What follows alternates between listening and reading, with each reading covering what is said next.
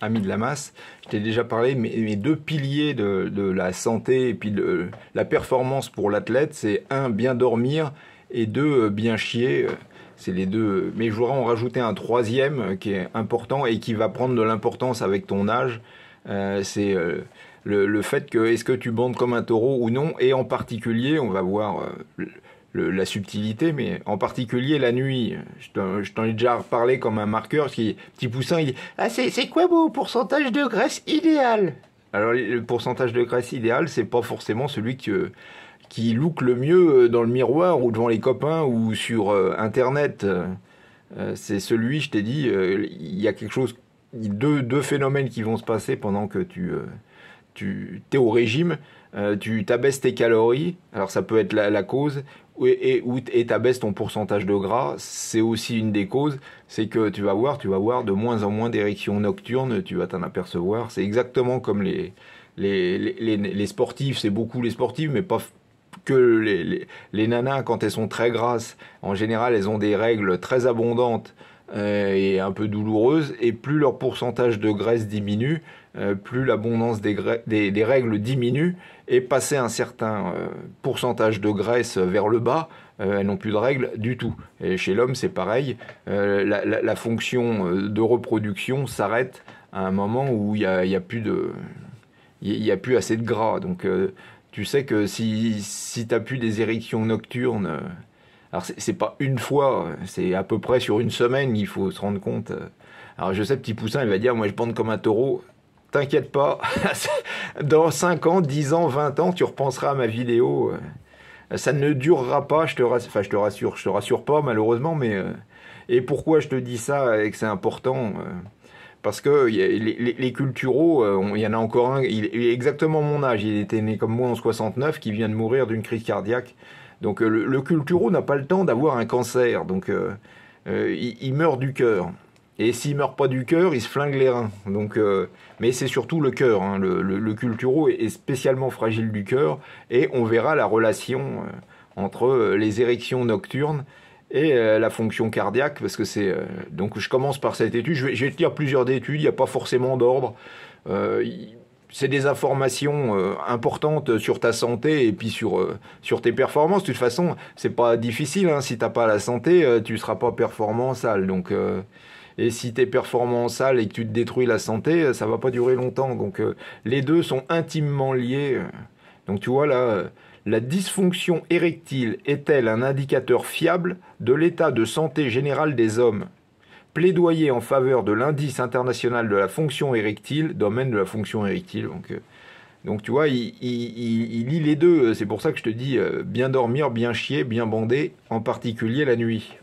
Pendant que tu dors. on verra pourquoi. Je te dis, euh, on verra plusieurs études. J'espère que dans toutes les études, on en apprendra un peu plus à chaque fois.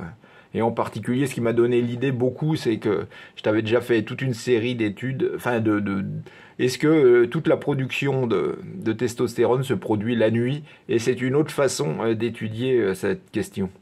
La dysfonction érectile est progressivement apparue comme un marqueur, sentinelle des maladies cardiovasculaires. Donc c'est, je crois, on le verra peut-être plus précisément, mais à 5 à 10 ans, euh, c'est un, prédicteur à 5 à 10 ans, un prédicteur avancé. Euh, qui, si tu commences à avoir des, euh, des, loupés de ce côté-là, dans 5 ou 10 ans, tu vas te taper des maladies cardiaques. Ton risque d'avoir des maladies cardiaques est multiplié, euh, je crois, par 4 ou un truc comme ça. Donc c'est pour ça que la, phrase commence comme ça.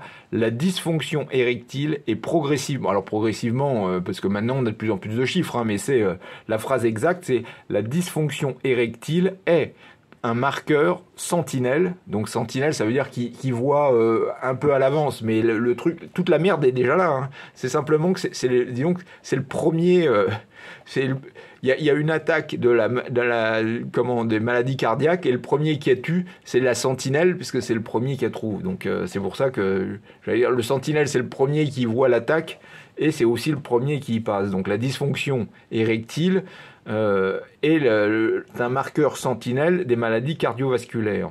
La corrélation entre la dysfonction érectile et le fardeau découlant de multiples comorbidité n'est pas complètement analysée, donc ils analysent, ils analysent. Je vais, pas, je vais te passer le...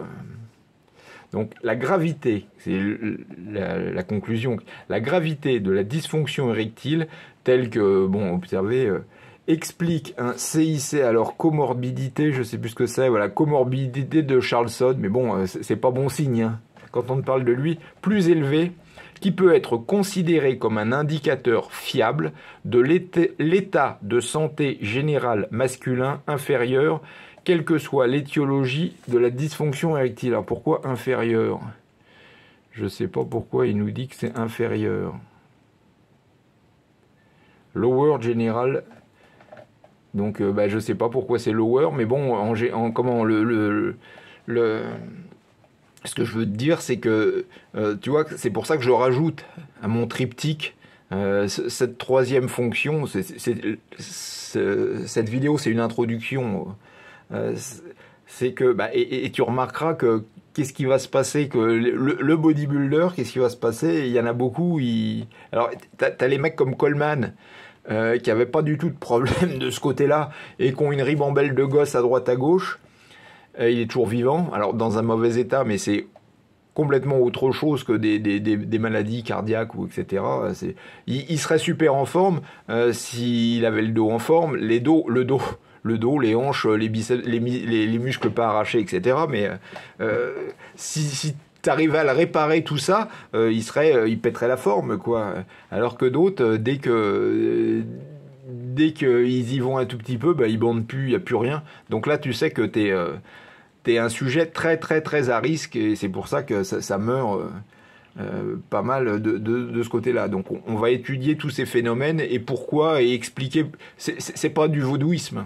L'explication, elle est, elle est assez directe quand tu le. Quand, quand tu, enfin, quand tu l'expliques et on va voir euh, quelle est la relation. J'ai trouvé une bonne étude qui vient de sortir donc euh, sur les érections nocturnes et le et le et la testostérone. Alors incroyable, la nuit, incroyable. Alors n'hésite pas à t'abonner, à, liker, à tout ce que, enfin je sais pas tout ce que tu veux. J'ai juste pensé, fais tourner la playlist, même si tu la regardes pas, ça me rapporte de l'argent si tu fais tourner la playlist euh, comme ça, même sans regarder. Donc voilà les, les combines pour m'aider. Salut.